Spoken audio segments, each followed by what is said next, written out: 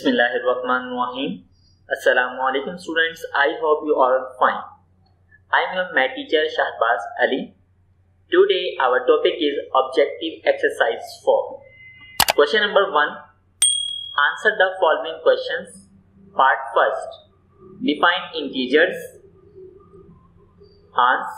The whole numbers together with the negative numbers is called integers. It means we have a whole numbers and you know that the whole number starts from 0, 1, 2, 3 but here we have one change both together negative and positive numbers is called integers.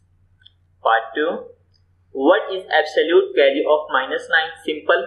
The absolute value of minus 9 is 9. Part 3 Which operation is known as the inverse process of addition? Simple the inverse process of addition is subtraction. Part 4. Write two integer less than 1 and the two integer less than 1 are 0 and minus 1. Question number 2. Fill in the blanks. In routine, we do not use sign with positive integers. Second, 0 is the neither a positive integer nor a negative integer. Number 3. The product of two integers of opposite signs is a negative integer. Number 4. Integers are also known as directed numbers.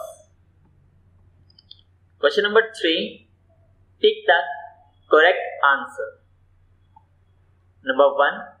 The numerical value of minus 55 is answer is 55. Number 2. Division of an integer is not possible by 0. Yes students, we cannot divide any number by 0. Number 3. Here we have 7 and plus and the parenthesis we have minus 3. So students, plus minus minus. So here we have minus 3 now if we minus 3 subtract from 7 the answer is positive 4 because 7 is a greater integer and it has positive sign. Number 4 here we have firstly we will solve the bracket. You know that plus minus minus and 2 minus r becomes a positive. The minus sign 1 and minus 1 becomes a minus 2 and here we have minus and minus uh, this sign becomes changed into positive and minus 2 subtract from minus 1 the answer is minus 1 the minus sign is there because 2 is the greater integer and it has the negative sign. Number 5 if we divide minus 1 and minus 1 you know that first we will write into division form then minus then minus cancel each other then 1 divided by 1 we have positive 1. So student this is the objective exercise of 4. I hope you understand well. If you have any questions, any query you can ask me. I will give you answer as soon as possible. So take care. Allah Hafiz.